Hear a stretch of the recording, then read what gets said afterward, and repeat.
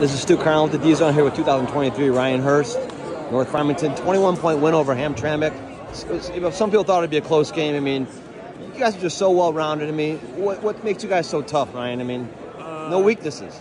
Uh, basically, uh, last year we took a tough deal to uh, St. Mary's, and we had eight returning guys. So coming in over the summer, we got in the gym immediately, and that's clicks towards the game. And practice, practice coaches on us every day, and it translates to the game.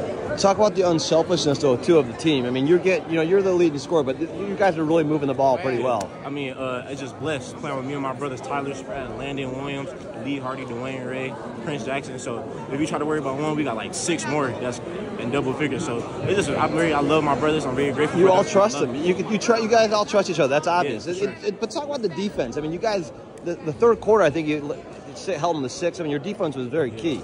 Well, talk about that. How much you work practice, on that? Uh, you know, Cam Sherman got great scoring. Uh, Chuck Bailey, uh, Mari Allen. So we know now coming in today's game, uh, we have to run the trap and execute on the trap. And that, trap was yeah, big. That's, yeah, that's translated. How much? Like a 20, 20 point lead. Yeah. Oh, yeah. It, it, just talk about your scoring and just your plan. You, you know, I, I interviewed you as a freshman. You've always been one of the leading scorers in the state.